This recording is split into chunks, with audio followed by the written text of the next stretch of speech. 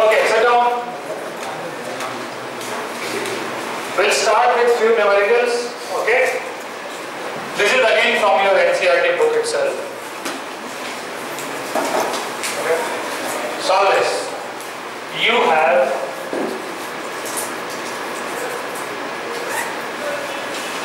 this scenario.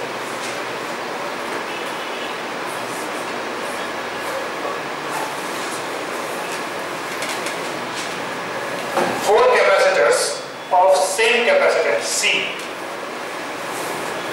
Okay? Fine. And you are connecting this capacitor with a battery of potential V.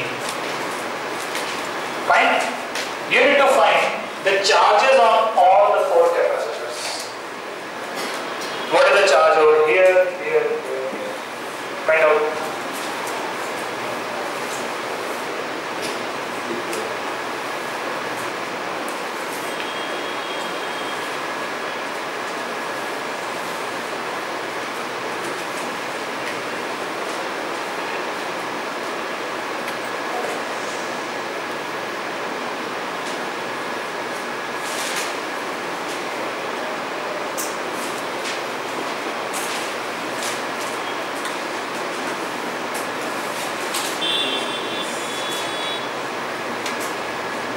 What is the charge over here? One second. Something like four. Something before. 4 CV by uh, 3. What will be the charge on this capacitor? Huh? Will it be CV? Yeah. What is the potential difference across this capacitor? V only. Yeah. So charge will be CV. Q is equal to CV. Yes or no? So this this one is straightforward. Charge will be C into V on this one. What about these three? How much will be? CV by 3, CV by 3, CV by What? 3. CV by 3. Okay, others? Do you remember that at the first time are these three series or parallel? And that is in parallel with this.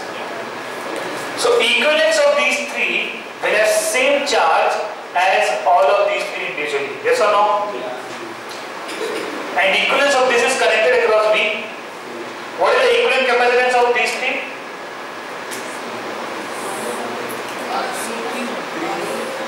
CV by 3. So CV by 3. Equivalent capacitance is CV by 3. No, no, no. What is equivalent CV capacitance? by 3. C by 3? C by 3 all of it getting?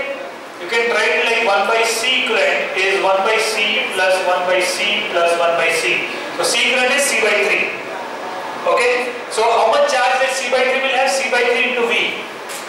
That is same as charge on these three individually. Okay, that is one way. Another way you can solve this question is like this. That from here to here potential difference is V. So since these three are same capacitor, so V by 3 potential difference here, V by 3 here, V by 3 over here. So total will be V. So V by 3 across C, so CV by 3 is a charge over here. Here also same, here also same. Getting it? Understood? Okay?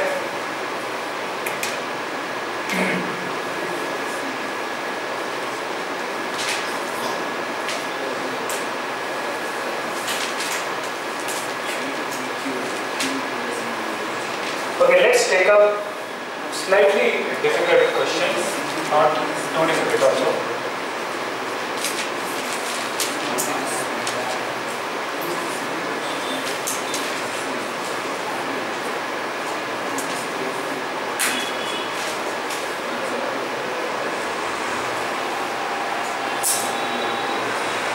This is C1, C2, C3 and potential is V.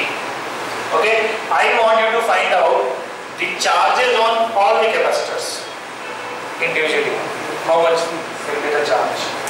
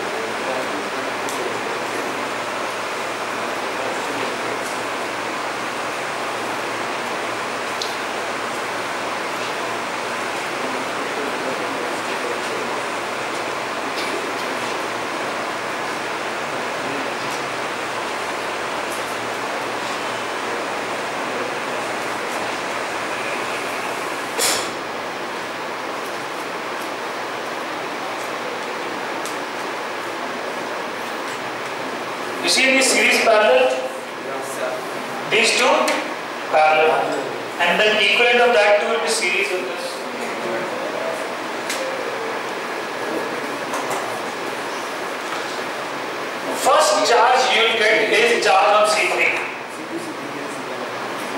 How much?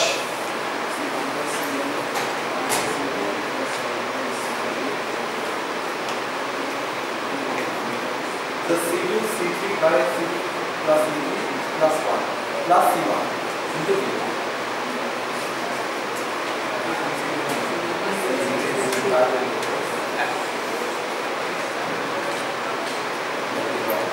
No, that correct. But the expression is correct. Can you write it more systematically? Should I solve now? Should I solve? I'll solve this now. See, my point is this, that these two parallel, okay, now parallel equivalent be C1 plus C2. So this will become C2 plus C1 now. And these are in series now, right? So whatever the charge over here will be the charge on the equivalent of these two or not? Right? Charge on C3 will be charge on equivalent of these two. Find out? No, right? Equivalent of these two is what? C3 into C1 plus C2 divided by C1 plus C2 plus C3. This is the equivalent capacitance. This into V will be the charge on C3. Any doubt? Understood? Understood all of you? Okay? No doubt, right? You please ask doubts if you have not understood.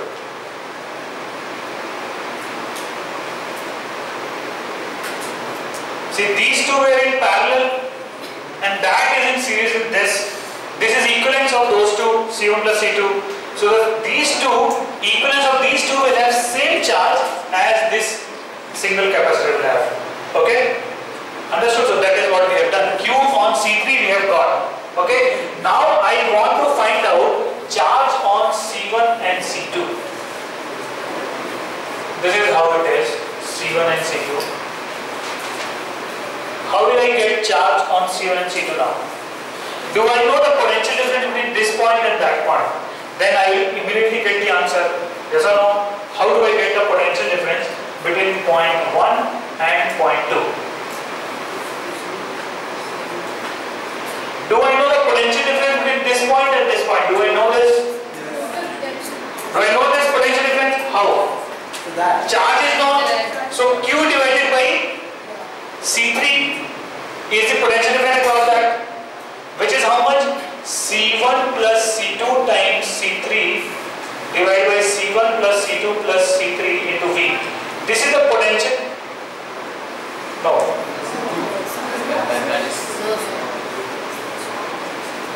Q divided by C3 sorry. So C1 plus C2 divided by C1 plus C2 plus C3 times V.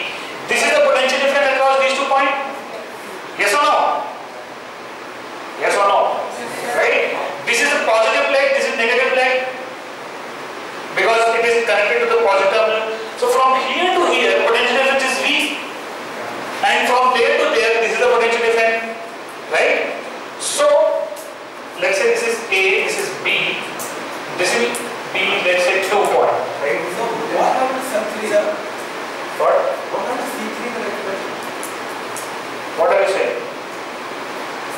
potential across goes that point.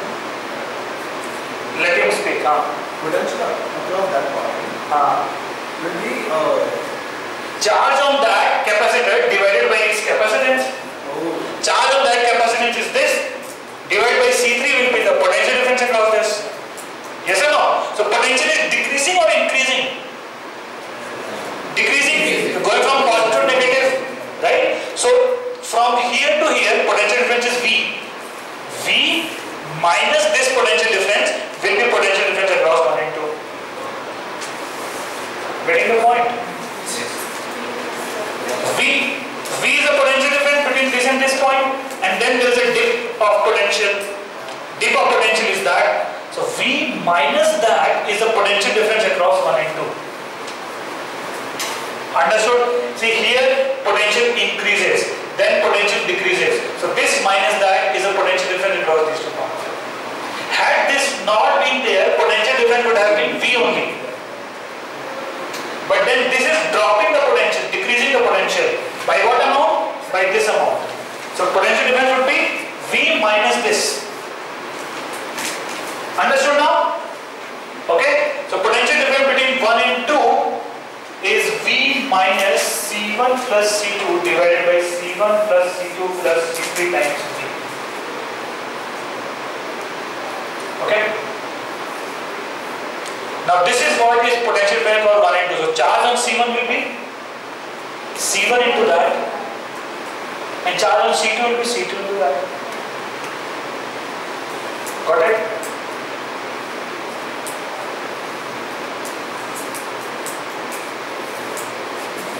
No doubts, right?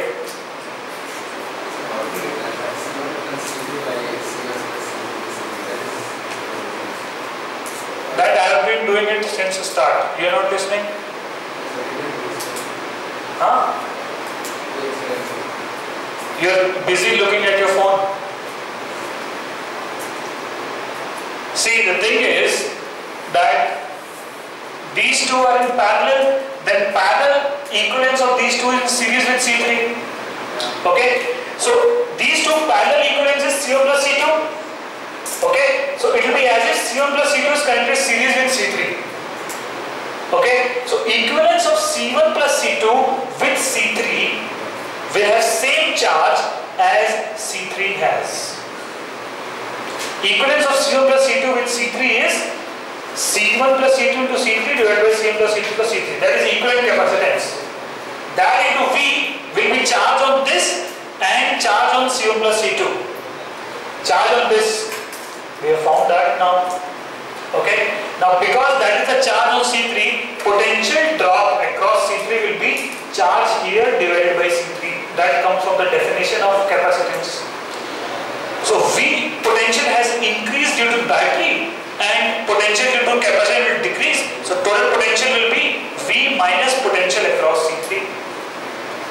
That is the potential across this point and that point, which is potential across C1 as well as across C2. Which is that. This multiplied by C1 is charge on C1. That multiplied by C2 is charge on C2. Now understood? Okay? Many questions, I mean, uh, you need to practice, then you will be comfortable with all of these.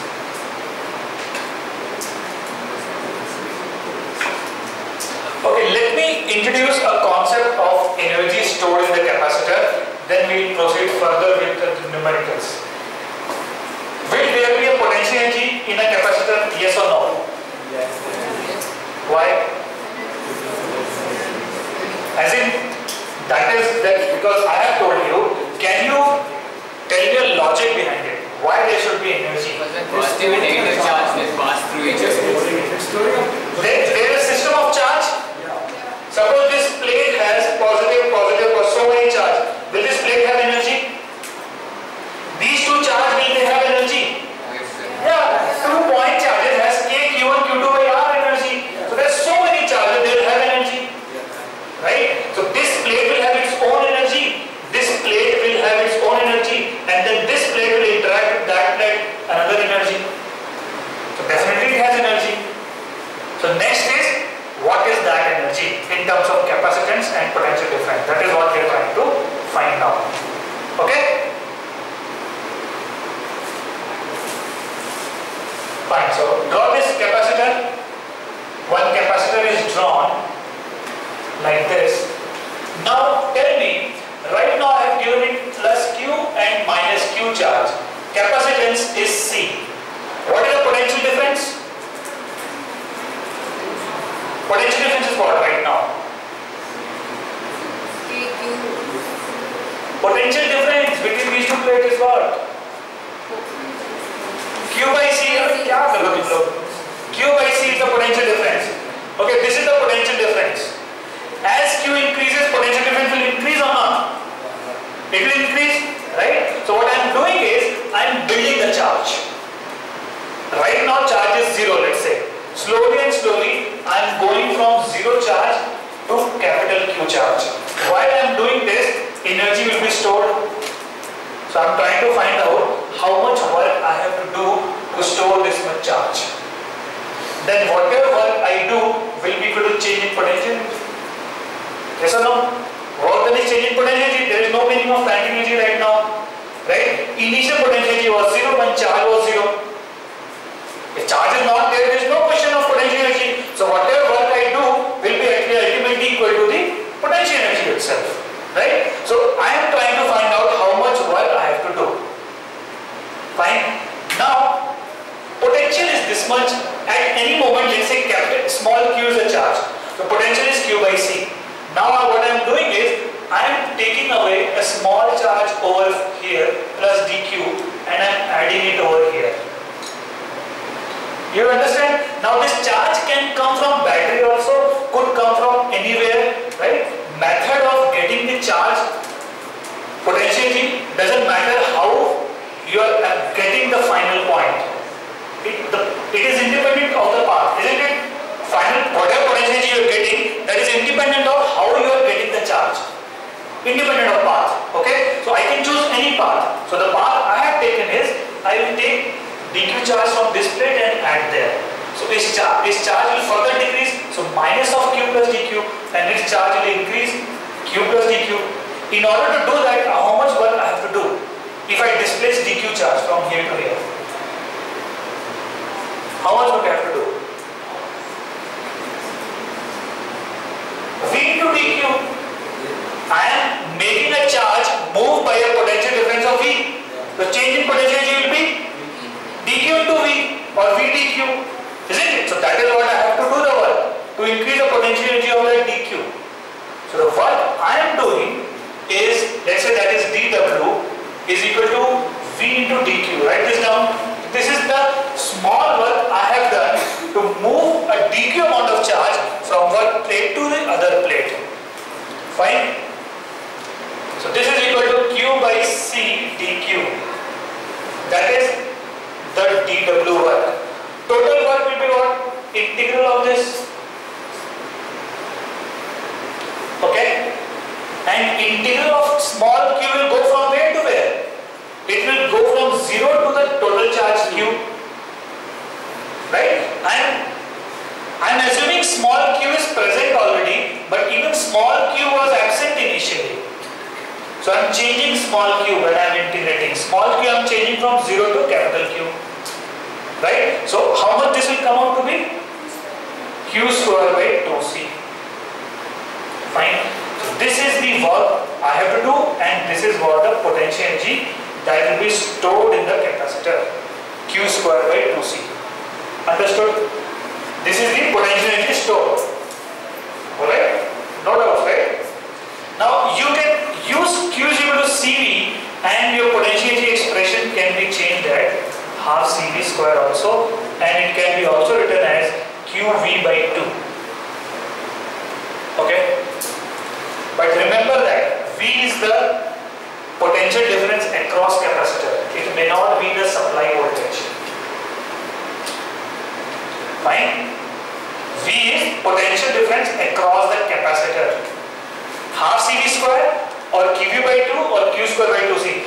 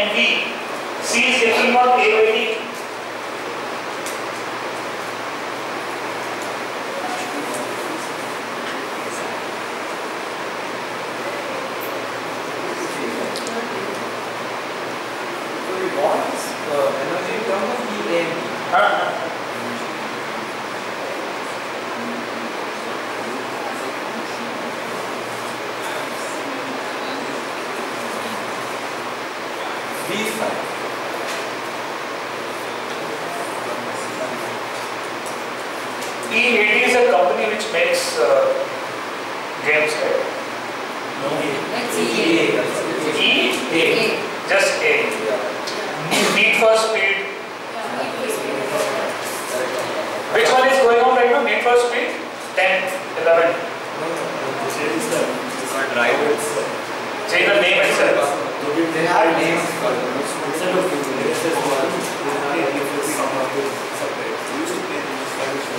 Well, what is the capacitance of spherical capacitor?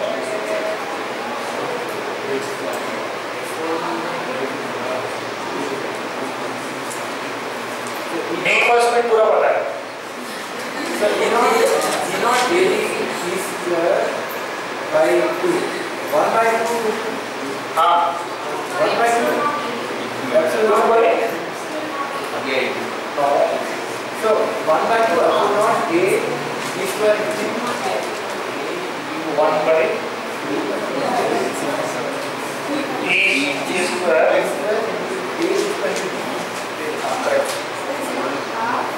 Half epsilon naught e square ad that's what you're getting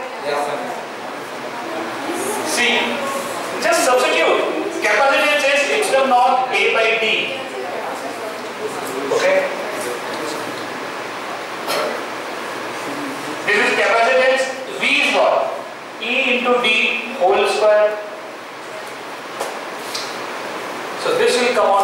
Half epsilon naught E square A into D. Okay, this is the potential energy. Now what is A into D? A into D is volume. Volume of the capacitor. Right? So energy per unit volume becomes what? Half epsilon naught E square. Okay, so you can see that it is independent of the energy per unit volume is independent of shape and size of the capacitor also. Energy depends on area and distance between the capacitor plate, but energy per unit volume not even depends on that. Are you getting it?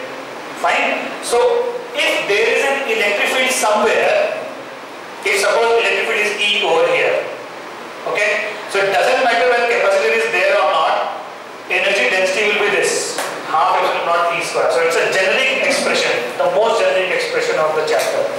That if electric field is E given, the density, energy density at that point will be half epsilon naught E square.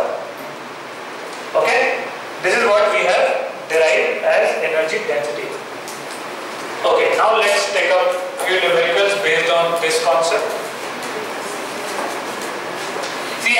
Going to give you numericals like, okay, connect to a potential difference V, what is the potential energy? Okay? Definitely my numerical will be slightly above your NCERT level. You need to think.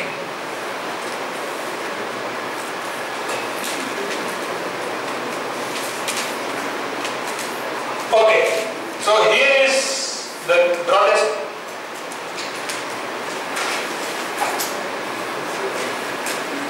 Wait, wait, wait.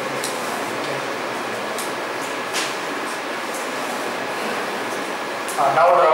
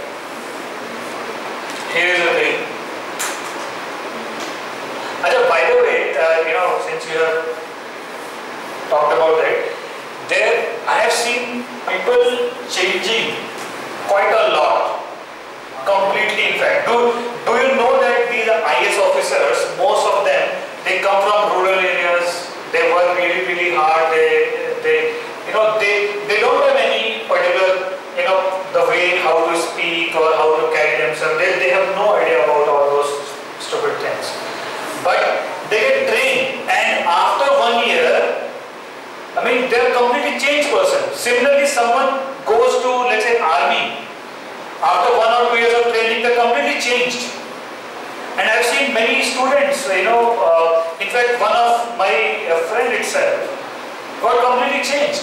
So, changing later on is, I mean, it's just a, you know, more awareness about yourself. Yeah, I was doing stupid things, so I stopped doing it. And then you change.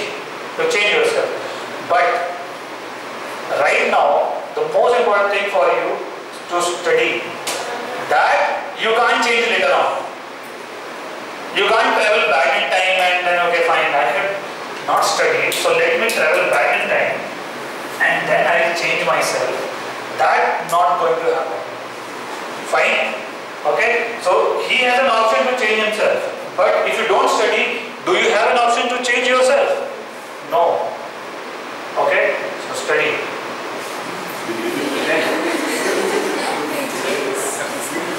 Alright, so the question.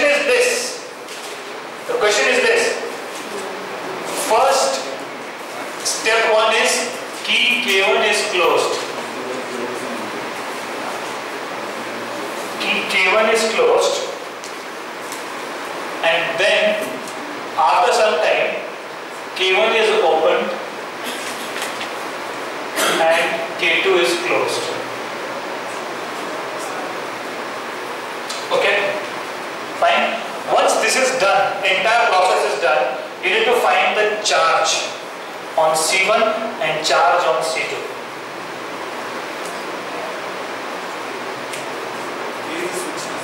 Hmm? Uh, K is the key or switch, you can say.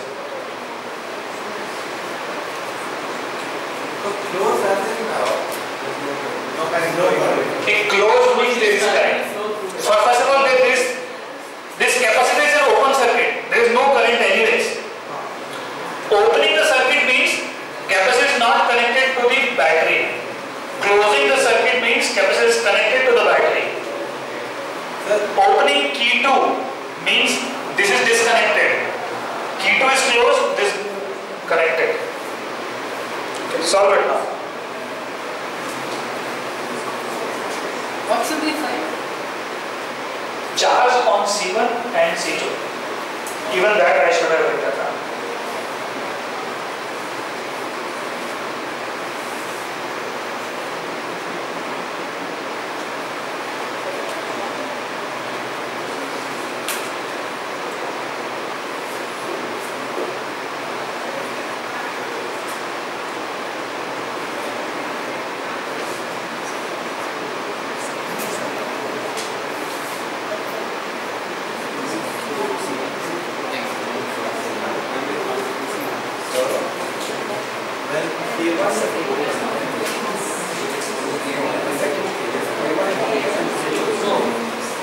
See, you cannot, uh, you have to first struggle yourself, do something yourself.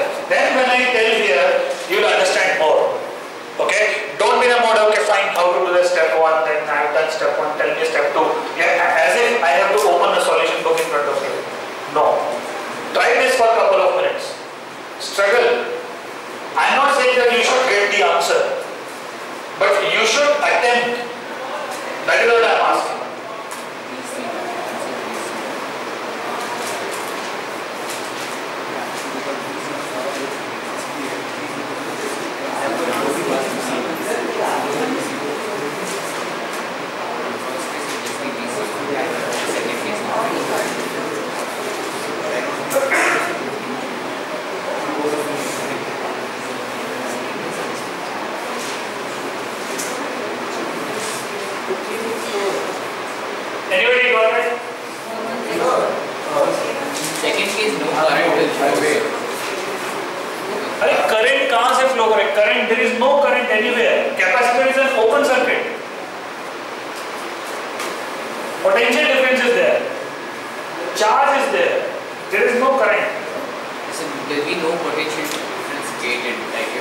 K1 is open. k1 is closed. So then K1. then k1 is open yeah.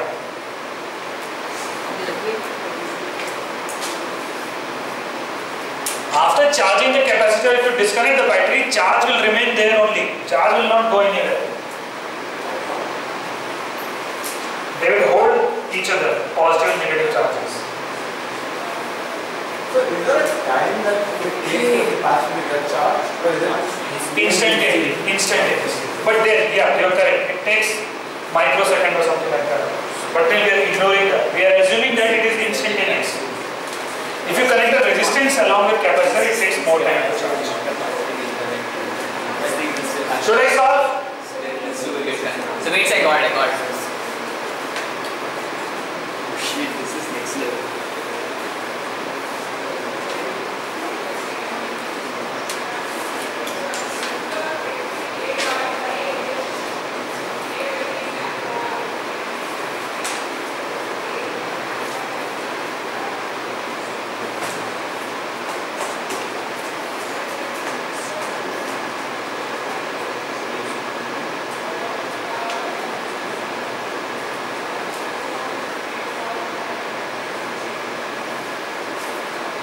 how much will be the charge on c1 when K, k2 is open c1v c1v so initial charge is plus c1v and minus c1v now this is disconnected so as if the battery is not there.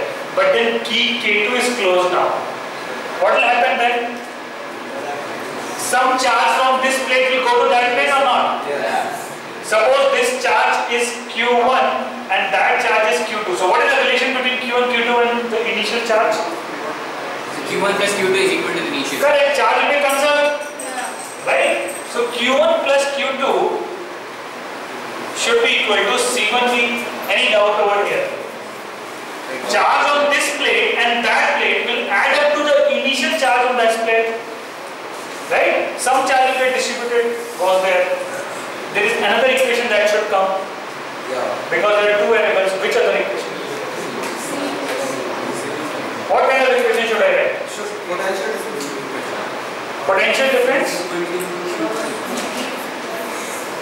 are they parallel to each other? Yes. These two points are common. Yeah. Right? So potential difference over here will be equal to potential difference over there. Getting it? So what is the equation? Q1 by C1 equals to Q2 by C2. Get the value of Q1, Q2 quickly.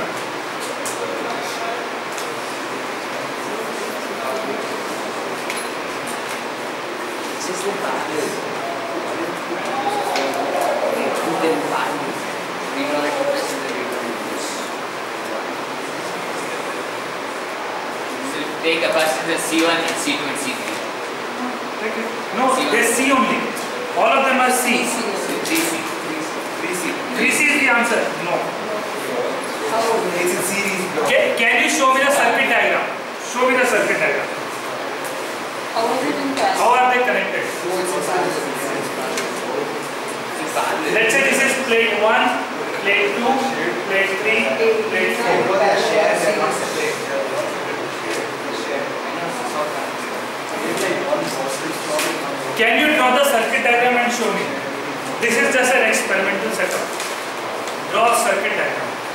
Two capacitors like this, three. So like this. So it will like this in the next. C by P. Okay, the way you do this question is this way. You draw three capacitors first. Okay?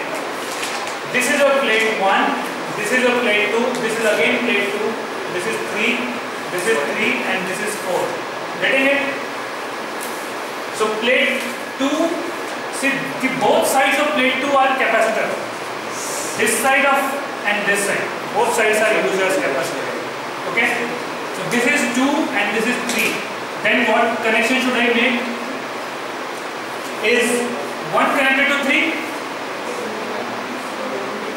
Plate 1 is connected to 3 or not? Yeah. Yeah? So it will be like this.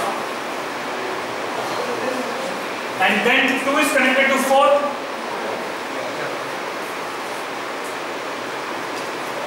Like this. We need to find equivalent capacitance between this and uh, are they series parallel or what? They're series. They are parallel. All three are parallel.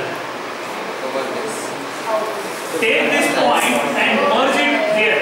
Take it and merge it. Take that and merge it. Ultimately, it will look like this.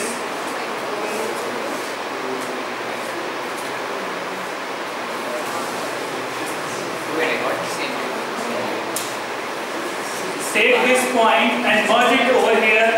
Take that point and merge it over here. It will look like this. Are you able to imagine? Yes? Sure? When I, when I was at your age, I was not able to. Are you able to? Yes. Honest? So you've done this in a resistor, so yes. Done with with resistance. Okay, fine. So this similar to this one. But then don't remember it. Are you able to visualize? Taking this point and connect it over here. Okay? And then taking take that point. Basically I'm removing this wire. I'm removing this wire and touching this point with that point. Removing that wire, touching that point with this point. Yeah. So it become like this. So equivalent capacitance will be C1 plus C2 plus C3. That is 3C. Wait, I got it correct. That says a lot. Just getting final answer doesn't mean that you are correct. Yes. Okay. All right. So I'll circulate a worksheet on capacitors. By the way, electrostatics is done, as in theory is done. If you do not solve more than 200 questions, your electrostatic is not done. Nice. I need to correct your assignments. Correct.